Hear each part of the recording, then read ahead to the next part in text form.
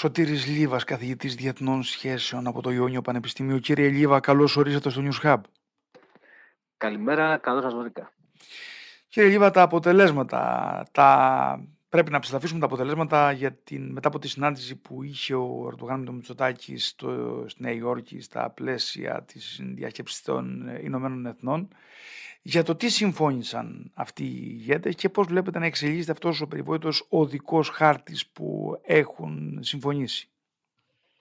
Ναι, ε, οι λέξεις βέβαια είναι, ας πούμε, είναι λίγο μεγαλύτερες από το τι στην πραγματικότητα συνέβη, γιατί ούτε συμφωνία έχουμε, ούτε ε, οδικό χάρτη ας πούμε πλήρη, γιατί εννοείται ότι κάθε φορά θα ανανεώνεται και θα ανασυντάσσεται σε σχέση με το τι έχει συμβεί προηγουμένως και ε, ούτε μπορεί να μιλήσει κανείς για, για αποφάσεις ε, και αυτό φαίνεται ακριβώς και από το πώς περιέγραψε την κατάσταση ο κάθε ηγέτης. Ο, ε, ο Μητσοτάκης ε, μίλησε βεβαίως για ένα θετικό κλίμα, ε, μίλησε για παραγωγική συζήτηση, ενώ ο Ερντογάν από την άλλη μεριά τόνισε το μακάρι, μακάρι συνάντηση να είναι υποφελής. Άρα και από αυτό ακόμα καταλαβαίνουμε ότι με διαφορετικό τρόπο το προσεγγίζουμε εμείς στην Ελλάδα όλη αυτή την, την ιστορία και με διαφορετικό τρόπο το προσεγγίζουν στην Τουρκία. αν ε, με αφήσεις Κώστα, γιατί εννοείται ότι μπορείς να παρεμβαίνεις να μην είναι ένας μονόλογος. Όχι, όχι. Ότι... Θέλω να μας περιγράψεις λίγο το θόλο τον οποίο δημιουργούνται όλα αυτά. Ναι, αυτό ε, για μένα είναι, είναι σημαντικό. Δηλαδή ότι ενώ από τη μία μεριά εμείς μιλάμε για παραγωγική συζήτηση, μιλάμε για θετικό κλίμα, μιλάμε για ανηνεμία, Μιλάμε για, ε, και αυτό το βλέπουμε και στα μέσα μαζικής ενημέρωσης. Από την άλλη μεριά δεν είναι ακριβώς έτσι τα πράγματα. Δηλαδή και δεν είναι ακριβώς έτσι τα πράγματα γιατί την ίδια στιγμή συνεχίζονται και συμβαίνουν ε, και δηλώσεις, έχουμε και δηλώσεις και ενέργειες από διάφορους από την πλευρά την, την τουρκική και δεν αναφέρομαι βεβαίως σε αυτό που θα μπορούσε να εκλειφθεί και σαν γραφικός στο ΓΙΑΙΤΖ και στη μήνυση που έκανε στον Πατριάρχη αλλά αναφέρομαι σε πιο σημαντικά ας πούμε, έτσι, ε, χαρακτηριστικά σημεία και στοιχεία, α, όπως στις δηλώσεις α, Φιντάν παλιότερα, πριν από λίγο καιρό, που είπε ότι εμείς έχουμε, κάνει πολύ, έχουμε λάβει πολύ θετικά μέτρα για τις α, μειονότητες και για τα χριστιανικά μνημεία στην ε, Τουρκία και θα θέλαμε τα ίδια πράγματα να γίνουν και στην Ελλάδα. Και καταλαβαίνετε ότι όλο αυτό ε, μέσα σε ένα κλίμα που υποτίθεται ότι είναι θετικό, δίνει τα αντίθετα ε, σινιάλα και τα αντίθετα ε, σημάδια, ακριβώς όπως βεβαίως εννοείται ε, το προχθεσινό από, την, από τον Οργανισμό Ενωμένων Εθνών του, του Ερντογάν που μίλησε για δύο κράτη στην Κύπρο και για ανάγκη πλήρους αναγνώρισης του τουρκικού, τουρκικού κράτους.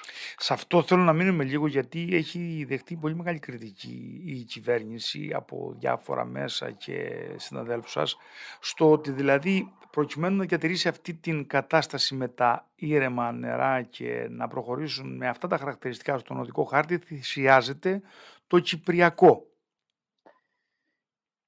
Κοίταξτε, δεν, δεν μπορεί να πει κανείς τη λέξη θυσιάζεται, αλλά το ζήτημα είναι αυτό. Ή ότι... τουλάχιστον δεν μπαίνει ας πούμε, στην ατζέντα ναι, όπως θα πρέπει να μπει. Ναι, ναι, θέλω, θέλω να πω το εξής, ότι ε, ε,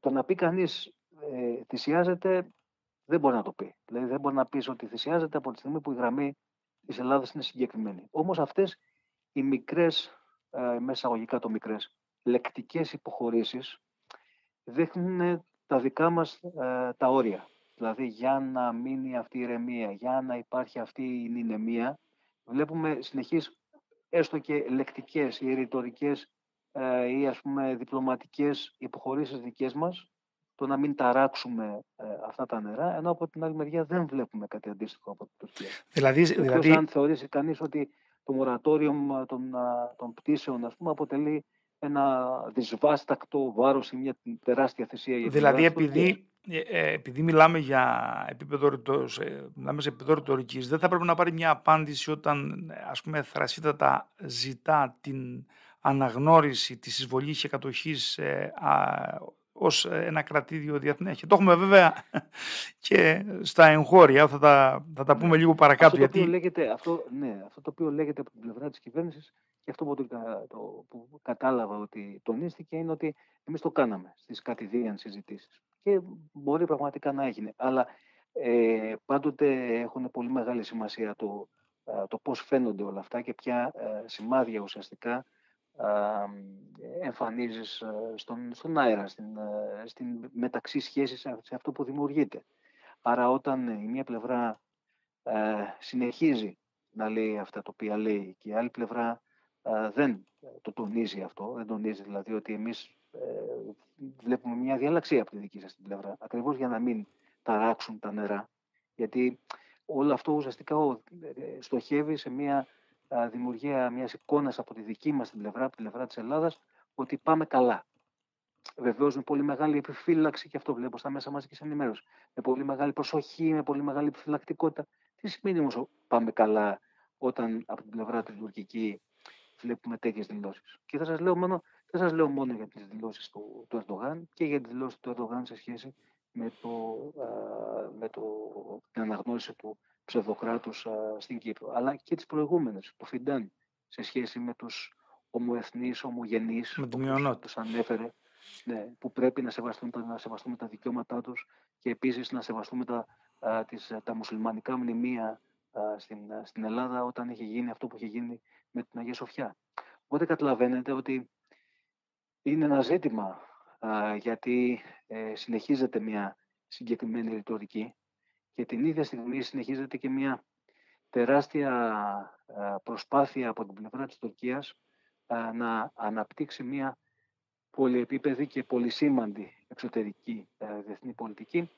Κάνουμε εμείς πολλές φορές το λάθος ένα, ένα λάθος που γίνεται στην προσέγγιση μας του όλου θέματος, ε, ότι η Τουρκία έχει συγκεκριμένα όρια στην πολιτική της. Δηλαδή ότι η πολιτική αυτή ε, είμαι ε, και στην Δύση, είμαι και στην Ανατολή και πατάω σε δύο βάρκες συγχρόνως, έχει συγκεκριμένα όρια. Και αυτή η πολιτική είναι αντιφατική. Αυτό είναι για μένα το πρώτο λάθος. Και το δεύτερο λάθος, πάλι για μένα, είναι ότι τα όρια ε, είναι συγκεκριμένα και πεπερασμένα αυτής της ε, πολιτικής και αυτά τα όρια στην πραγματικότητα έχουν τεθεί πλέον και από τον ε, πόλεμο της Ουκρανίας. Δηλαδή δεν μπορεί συνεχώς η Τουρκία να ακολουθεί μια τέτοια πολιτική που στην πραγματικότητα την οδηγεί σε εγκλωβισμό. Και αυτό το έχει καταλάβει ο Ερντογάν, γι' αυτό ακριβώς ακολουθεί μια πολιτική ανοίγματος. Επειδή όμως, κύριε Αυτό είναι το, το αφήγημα, με το οποίο βεβαίως εγώ το λέω ξεκάθαρα ότι δεν συμφωνώ. Ναι, επειδή όμως όλα έχουν το συμβολισμό του και να κλείσουμε αυτό, να πάμε λίγο στα διεθνήματα και πώς ε, επηρεάζουν την εθνική στρατηγική. Ε, όταν φτάνει ο Μενέντες, ας πούμε, ο γερουσιαστής και είναι περισσότερο καυστικός και επιθετικός ε, από το πρωθυπουργό της χώρας ή από την ελληνική διπλωματία και λέει ας πούμε ότι λύση θα βρεθεί όταν φύγει και ο τελευταίος Τούρκος στρατιώτης από την Κύπρο. Αυτό δείχνει ένα υποβασμό και είναι σαν να η Ελλάδα ακολουθεί την Τουρκία σε αυτή την τακτική που θέλει να αποσυνδέσει το Κυπριακό από τα ελληνοτουρκικά με ό,τι αυτό συνεπάγεται. Ναι, γιατί έχουμε μπει σε μια λογική ότι ε, σε μια λογική κατευνασμού, που βεβαίω είναι μια καταδικαστή λέξη, δεν μπορεί να την πει κανείς στο δημόσιο λόγο, γιατί δημιουργεί άλλες αναγωγές η λέξη κατευνασμός, αλλά ακριβώς αυτό συμβαίνει.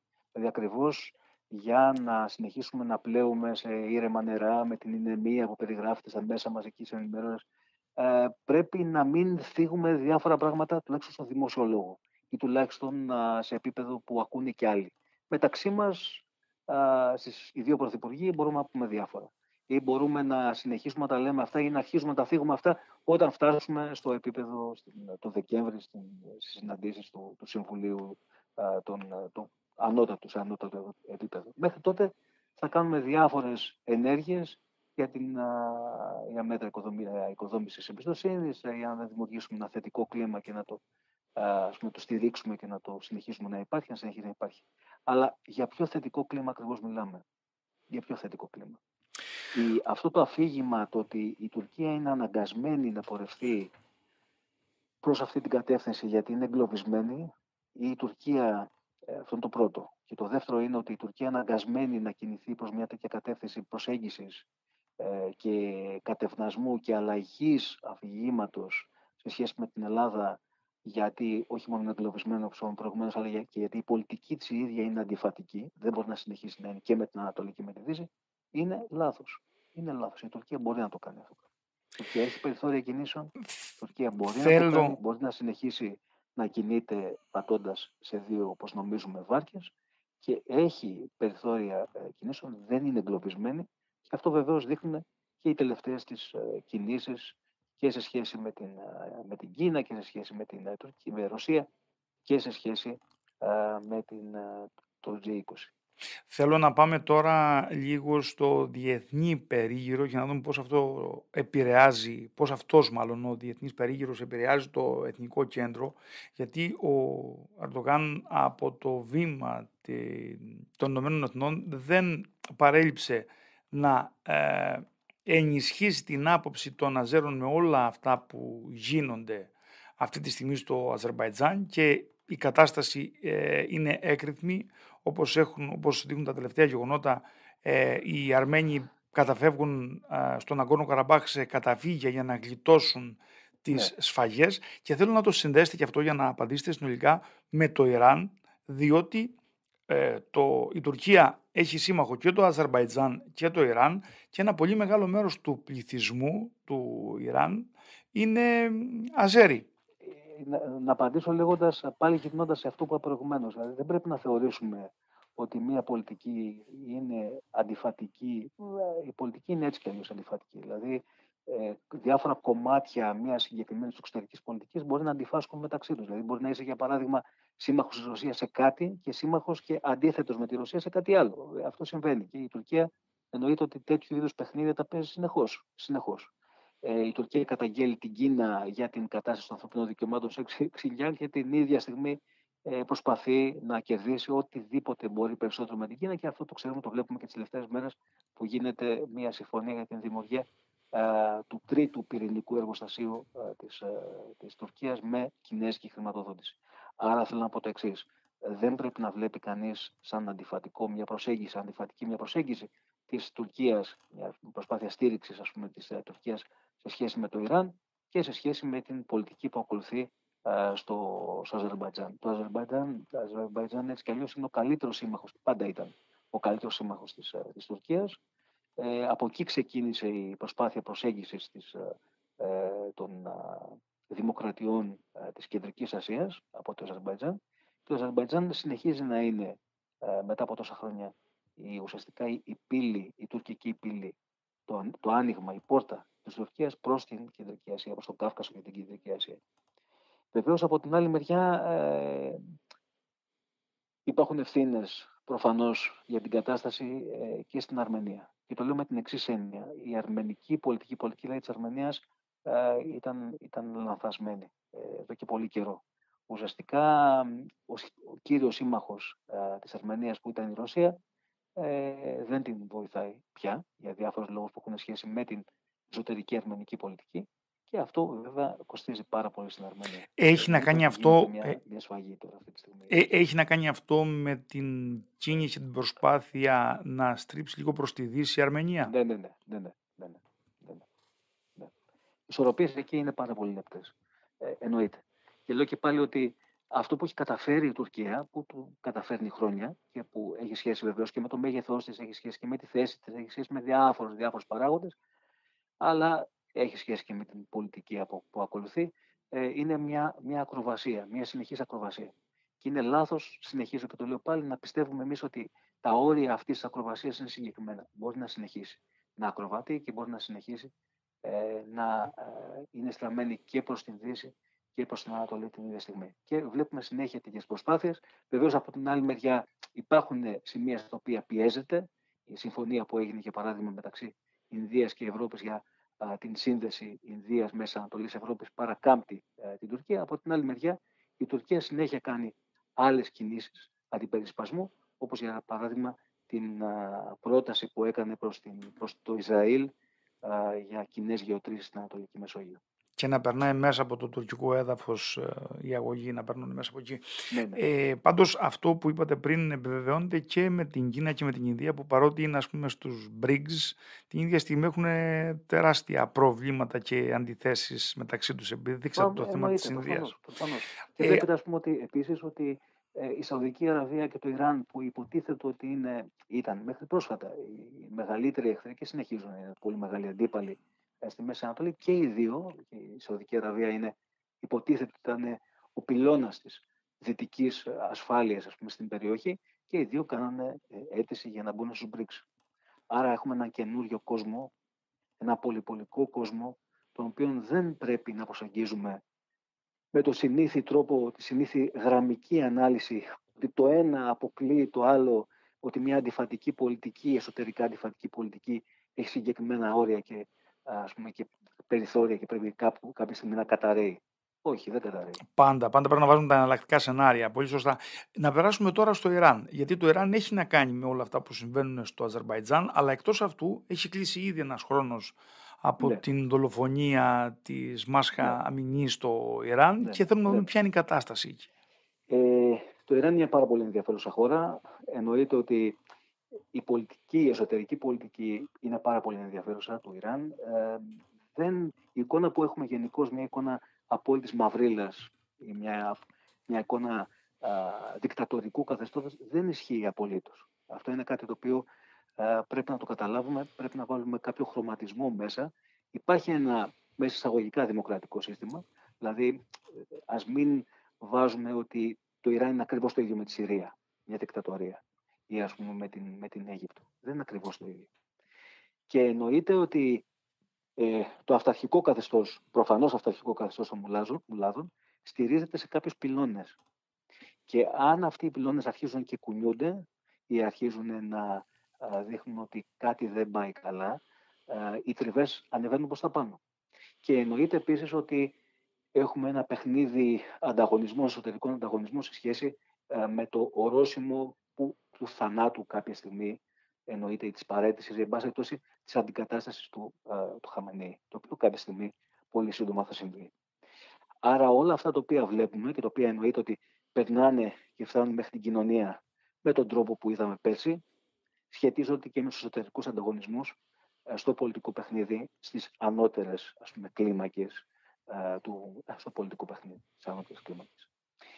Τώρα, ε, το να αλλάξει μια κατάσταση και να φιλελευθερωποιηθεί εντελώς η Ιρανική κοινωνία ή ας πούμε το Ιρανικό κράτος είναι κάτι πάρα πολύ δύσκολο να συμβεί. Πολύ δύσκολο. Γιατί δεν βλέπουμε κινήσεις ούτε από τα μεγάλα κέντρα, από τους από το παζάρι, όπως λέμε, δηλαδή τον εμπορικό κόσμο, ούτε από, τους, από τις μειονότητες. Ε, τους Κούρδους, τους Αζέρους, κουλουπού, κουλουπού, κουλουπού. Άρα από τη στιγμή που έχουμε ηρεμία από την περιφέρεια και από το κέντρο που είναι συγχρόνως και το κέντρο που είναι ε, ο εμπορικός κόσμος, το οικονομικό κέντρο, ε, η νεολαίστικη κίνηση, η νεολαίστικη επανάσταση, ε, η εξέγερση, εν δεν θα μπορέσει να προχωρήσει και να κινηθεί και βεβαίως εννοείται ε, το είδαμε και πέρσι που σχετικά γρήγορα όλα αυτά πάγωσαν. Τώρα να, να, θέλω και με αυτό να κλείσουμε να μας τα συνδέσετε λίγο όλα αυτά και όσο γίνεται, είπαμε γραμμικά δεν μπορούμε να τα δούμε πάντα, βλέπουμε τα εναλλακτικά σενάρια και τις προοπτικές που υπάρχουν, αλλά αυτή τη στιγμή, επειδή είπαμε ότι η, η Αζέρ είναι αυτή τη στιγμή ένα, ο καλύτερος σύμμαχος της Τουρκίας ε, στον Κάφκασο, η, ε, το Ιράν και η Κίνα την ίδια στιγμή είναι ε, συντεταγμένοι σε πολλά ζητήματα, όχι σε όλα, αλλά σε πολλά ζητήματα με την Τουρκία και η κίνηση να παρακαμπτεί ο, ο δρόμος του μεταξιού με ένα νέο δρόμο του μεταξιού που θα παρακάμπτει και την Κίνα και την Τουρκία όπως είπατε και το ε, Πακιστάν που είναι σύμμαχος της Τουρκίας, πώς όλο αυτό επηρεάζει την Ελλάδα, τη δική μας στρατηγική πάνω στα γεωπολιτικά. Μέσα σε αυτόν τον καινούριο ε, πολυπολικό κόσμο εννοείται ότι όλα παίζουν ρόλο και όλα έχουν σημασία και εννοείται ότι παίζουν πάρα πολύ μεγάλο ρόλο και οι εσωτερικές πολιτικές εξελίξεις. Δεν έχουμε μιλήσει καθόλου για αυτό το οποίο τον επόμενο, το επόμενο χρονικό διάστημα θα μας απασχολήσει όλους πάρα πολύ, δηλαδή το εσωτερικό πολιτικό παιχνίδι στις ΗΠΑ. Και όλο αυτό πώς θα ενταθεί και πώς θα επηρεάσει και την εξωτερική πολιτική των ΗΠΑ. Ήδη βλέπουμε μια αντίδραση ε, της Γερουσίας και της Βουλής σε σχέση με την συνέχιση της ε, χρηματοδότησης ε, του, του Ουκρανικού, Ρωσο-Ουκρανικού πολέμου, δηλαδή της Ουκρανίας σε σχέση με την αντίστασή της από τη Ρωσία.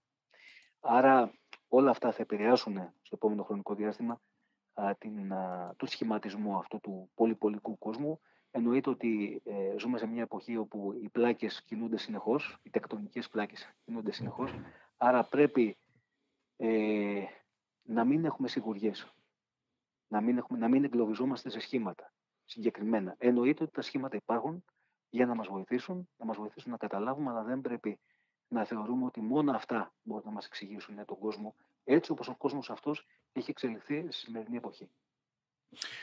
Μάλιστα, κύριε Λίπα, θα ήθελα να σε ευχαριστήσω θερμά για την συζήτηση που είχαμε και να ανανεώσουμε το ραντεβού μας. Ευχαριστώ πολύ. Εγώ σε ευχαριστώ πολύ.